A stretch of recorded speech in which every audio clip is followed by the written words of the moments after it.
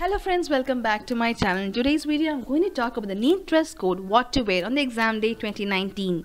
The dress code of NEET 2019 has also been mentioned on page 52 of its brochure.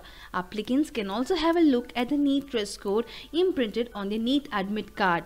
NEET has declared a different dress code for male and female applicants. So let's have a look at what you can wear on the exam today to take NEET exam and what you'll have to avoid wearing to get the entry in NEET Exam Center 2019. So for the NEET dress code for the girls, you can wear half sleeve kurti, kurti with salwar pants, salwar suit without any embroidery or buttons or brooches, t-shirt and jeans, leggings, Regarding leggings, there is nothing given about wearing leggings or not. Light colored leggings can be worn.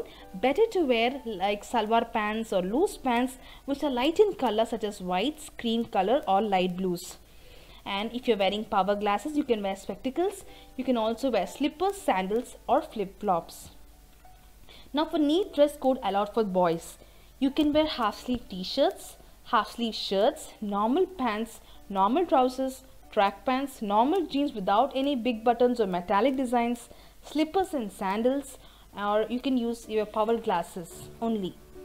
Now for the dress and the banned items for girls are full sleeve salwar suit, full sleeve kurti, embroidered salwar, button top, full sleeve shirts or capris which is not allowed.